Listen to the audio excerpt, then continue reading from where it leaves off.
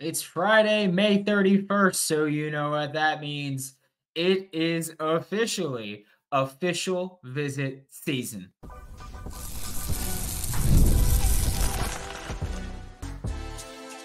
You are Locked On Gators, your daily podcast on the Florida Gators, part of the Locked On Podcast Network, your team every day. Hello and welcome back to another episode of Locked On Gators, part of the Locked On Podcast Network, your team every day. Thanks for making Locked On Gators your first listen of the day. We are available daily and free wherever you listen to podcasts and on YouTube. Happy Friday. I'm Brandon Olsen. Find me on Twitter at WNS underscore Brandon. Find all my written work with the Giants, Country, and NFL 33. If you're not part of the Locked On Gators Subtext Insider Program, you should be. The link's in the description below to join that and get involved and get inside. Joining me now for Locked On Gators is Brian Smith, Locked On's recruiting insider. And before we get into it, I'd like to thank LinkedIn Jobs for being the official college football recruiting sponsor across the Locked On College Network. LinkedIn Jobs helps you find the candidates that you want to talk to faster. Post your job for free at linkedin.com slash locked on college. Terms and conditions apply. And Brian, it's the most wonderful time of the year. It, it's official visit time. And right. I, I do have to ask before we even talk about any specific players, how important is it to, to kind of nail this first official visit weekend? Because I think a lot of people look at that first official visit or any player's first official visit, we'll say, not just necessarily this weekend, but any player's first official visit. I feel like when we talk about that, we go, oh, you're getting the first visit. That's good for you. That shows that that they're prioritizing you. But also you have to do enough to leave a lasting impression through any and all other official visits that these kids will go on. Yeah, it's feast or famine on either end of this. Some people want the last visit. Well, what if you don't get there? And another kid along the way, you know, you like, you're waiting on him, but he commits somewhere else. Like you can lose everybody that way too. So it goes both directions, but at least you get the kid on campus with the first visit and you have a chance to talk to him one on one on your turf. So Florida's an easy place to sell as a visit. I'm sure most people listening to this podcast have been to the University of Florida or attended it. Great campus tradition, the swamp, all that. I think they're one of the few schools that can get kids to commit just with that visit because it's a great place to be. So I wouldn't be surprised if a few kids from this weekend, because it's happened traditionally, Florida will get kids to commit and other people didn't expect. Happened last year too. So why not again in 2024? Yeah, uh, I think that I'm typically thinking like, hey, you know, first visit's nice, but like I said, you have to last you have to make a lasting impression through all the other official visits.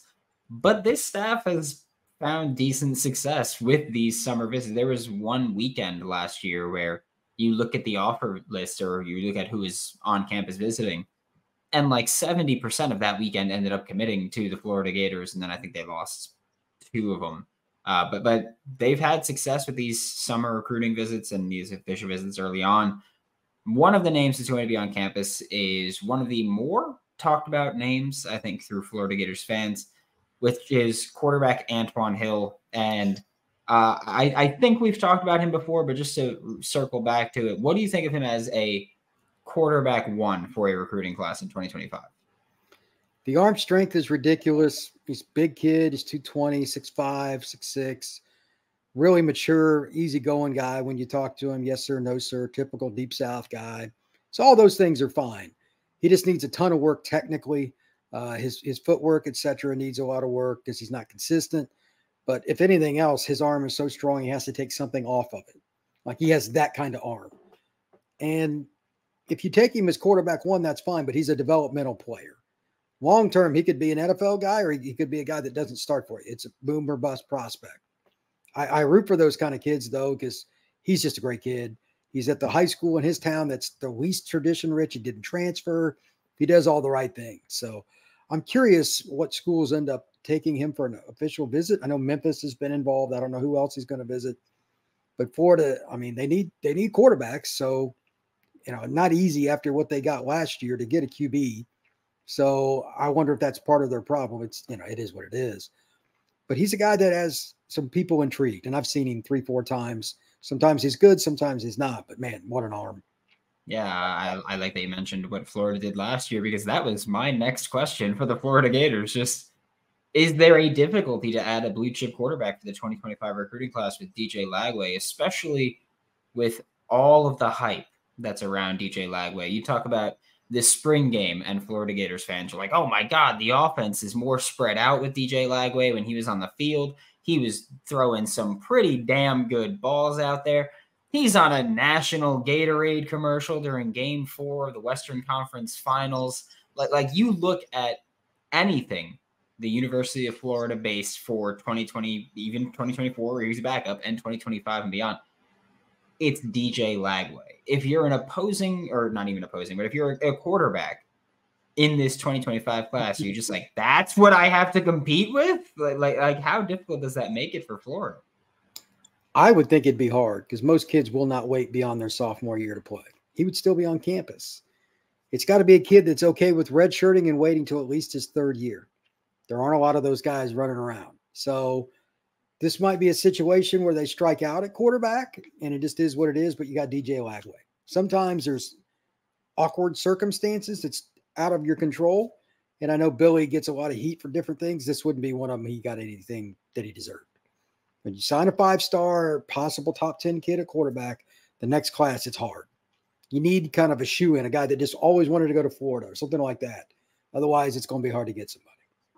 Yeah. And uh, you mentioned Memphis before. It feels like Memphis is kind of the the public favorite right now for Antwann Hill. You know, that they, they have their like big FedEx NIL package coming in, and all of a sudden they started popping up for a lot of kids for Antwann Hill. There, there's probably an opportunity to play early for him, whether or not he deserves it and whether or not that would actually be good for his development. But if you're the Florida Gators, how do you sell him when when you're competing against you can play early and every time we talk about any recruit we go, yeah, you don't want to sit past your sophomore year. That's not easy, man. The only thing I can say is you can sell the development and playing in the SEC. There's a difference between the swamp and wherever it is Memphis plays. I have no idea what their stadium name. I have no clue, and I don't care. It's not a Power Five program. They have no shot at a title, so I'm not interested in that. And that's what you're going to sell if you're Billy. You should. If you don't want to be a part of this and take your time, good luck at Memphis. That's honestly what I would tell him. And again, I like Hill. He's a nice kid. It's always nice to me. But no offense, that's not the same level of football. If you're going to earn a chance to play for Florida, you're probably going to have to wait longer. Take it or leave it. Yeah, uh, and if I'm Billy Napier, I'm I'm showing him the Anthony Richardson highlight film, and I'm just like, hey, we did it. He was bad when he went to the NFL, but we had a fourth overall pick here, so we we've got the guy here that uh that we can kind of use as the selling point. But hey, I'm I'm not on the coaching staff, and they get paid a hell of a lot more money than I do to do this. Uh, so I, I'll be as critical as I can be. Game time makes getting NBA Finals tickets even faster and easier. Prices on the Game Time app actually go down the closer that it gets to tip off, and with killer last minute deals, all in prices, views from your seat, and their lowest price guaranteed. Game Time takes the guesswork out of buying NBA tickets, but not just NBA tickets. Oh, no, no, no. I say nay, nay.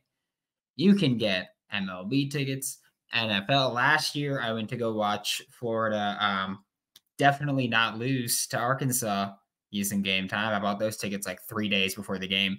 Um, great, great price, by the way. I was sitting front row in the end zone where Arkansas scored the game winning touchdown and where Trey Smack missed that field goal. Broke my damn heart. Broke my heart. Uh, game time. And then I watched, yeah, and then I watched the Phillies throw six perfect innings against the Mets a couple weeks ago game time has been really productive for me. Take the guesswork out of buying tickets with game time. Download the game time app, create an account, and use code locked on college for $20 off your first purchase. Terms to apply. Again, create an account, redeem code locked on college for $20 off your first purchase. Terms to apply. Download game time today. Last minute tickets, lowest price, guaranteed. Flipping to the defensive side of the ball for the rest of today's show linebacker Christian Gass is going to be on campus this weekend as well. What do you think of him and his film? I loved his film. He's a kid that I contacted somebody that I know lives pretty close to him. I'm like, Why isn't this kid ranked higher? His speed, his ability to anticipate, his lateral movement. He plays just outside of Atlanta. He plays pretty good competition. I don't understand. I know Auburn likes him and Georgia and all these other schools looking at like he's got a lot of talent, but his ranking didn't match. I'm, I'm assuming that it's on the rise. So Florida and Auburn want you. It's probably a good sign. You know, it's not like they want for defensive prospects very much. I think that this is a kid that can play early, even at, at a UF, even at an LSU or Alabama. I think by his sophomore year, he could be in the rotation for about any school in the country. And he could also do it at multiple spots, maybe outside backer, maybe will, maybe pass rusher. He could be a versatile kid, and those guys never go out of style. Yeah, I was curious about how long you think he would need to be playing time ready, and I mean significant snaps, not just special teams or or garbage time, because Florida will also have I mean, the transfer portal is a thing. So Florida should also have in 2025 Paul Howard, Myles Graham, Aaron Chiles, and Jaden Robinson from the 2023 class as well, all on roster. So how long do you think it would kind of take for Christian Gass to be eased in with all this also young talent at linebacker that Florida has? I think he would just be a guy that has to earn it. I think he could pass some guys up. Like they got really good linebackers in this past class. That was a really good linebacker group. But that doesn't mean they're going to have just an easy way of it. This kid's really good too. It would come down to playbook probably, how quickly he picked it up. Because physically, there's no guess he's got all kinds of talent. Again, he could play multiple spots. I think he could be an H-back tight end kind of guy too. There's all kinds of ways you could use him. I think they'll find a way to rotate them in. When Florida has been great, they've done that anyway historically. Rotate a lot of front seven defenders, stay fresh, and kill teams in the fourth quarter. So uh, that would be my guess. How does it feel knowing that for the foreseeable future, every time you talk about a defensive player, you're going to talk about Florida, Auburn, and Georgia just all in the mix because I, feel like the defensive systems are, are fairly similar. I mean, Ron Roberts helped establish the defense at Auburn, and, and now he's at Florida, and, and he kind of helped even usher in the modern era of defense when he was back at Delta State. So just how's it feel knowing that every time you're just gonna have to talk about the same player with the, or the same type of player with the same school? I think that it's a good thing because there's a little more congru- congruency. I mean, so many teams are trying to figure out how they want to run their hybrid defense, but because personnel packages do not dictate how teams line up anymore. 22 personnel used to be all power. Now it could be four wide and one person in the backfield. You got to be versatile and ready to shift your entire defense at a moment's notice. So if you don't have versatile players and like guys like Roberts have tried to figure out, it's not going to work well for you. Even Michigan, like, has completely changed. Like, let's be honest, Jim Harbaugh is a rather stubborn individual. Their defense became multiple they came up with different ways to use players in the back end and the front end. That's what you're seeing with Florida, Auburn, and everybody else too. A lot of different blitz packages being aggressive because you have to. So I, I, look at kids when I scout them like, hey, can you get after the quarterback even if you're a safety? Because you got to blitz anymore because teams are so good at moving the ball. You need negative plays. You're not going to just play cloud coverage all day and win. It does it doesn't work that way anymore. So I like it actually. It's more fun to talk about all the possibilities of where a young man could play as opposed to okay he's just a defensive end he's just a boundary corner whatever. What are the versatile points that this young man has? Yeah uh, I, I, like it too. I feel like it adds a level of like florida doesn't play auburn frequently at all but i feel like florida fans and auburn fans are now kind of constantly jabbing each other because they're always dealing with these like zach blackerby our, our boss with locked on auburn his Discord, they tag me all the time when when Auburn lands a kid or is expected to land a kid that Florida's also recruiting, where they, they just tag me to talk a little talk a little trash because we, we have that, I guess, going on on the recruiting trail. We constantly see it. And last year, Auburn took a couple guys from Florida. Right now, Florida, Florida is is trying to take a couple guys from Auburn and Malik Autry and Tavares Dice. Um, but back to Christian Gass how would you look at him compared to a guy like Tavian Wallace, who is one of the more popular linebacker recruits among Gators fans? Uh, personally, I mean, we've talked about Tavian Wallace before. I think we're both pretty high on his film as well. So, how would you compare the two? Not necessarily, you know, head to head, but just as far as in this linebacker class? I don't think there's a huge difference. To be honest with you, I think they're both kids that can play anywhere, Georgia included. That's the easiest way to put it. I know Florida fans hate me mentioning Georgia, but that's the standard right now, whether you want to admit it or not. I don't think they'd have a problem. They can run, they can cover, they can hit, they can play multiple spots. Check, please. Sometimes I know people get caught up in rankings. Again, for whatever reason, Gass's ranking and his notoriety was low to start out. I don't know if he didn't go to any camps last year or whatever. That's a big deal. Like guys want to see players live before they rank them sometimes. Some of these guys are my friends. There's no fixing that. But like he lives just outside Atlanta. He's played against good competition and his film is really good. So I, I don't think there's a huge difference between the two players. Yeah, there was a report that came out uh, a couple days ago or earlier this week, and it was about Mike Norvell. And apparently, when they talk about recruits, he doesn't allow uh, his assistant coaches to bring up their star rankings in in, in meetings, uh, which I don't believe. But I, I would love that idea to just go. I don't give a damn about the stars. Just find me good football players, and the the people getting paid six and seven figures should, or now some guys getting paid eight figures. I'm going to take their opinion more than uh more than that of guys that that don't make as much to do that uh, and don't have their jobs really depending on being right about things.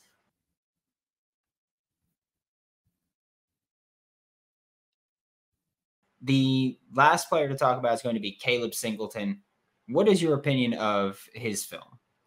He's a kid that's got some upside, but the first thing I look at with anybody that can play free safety, corner, nickel, what are the measurables? Uh, the, the raw physical tools at corner in particular, the it's the most important of any position because you're out there by yourself a lot, and if you fail, it's a touchdown.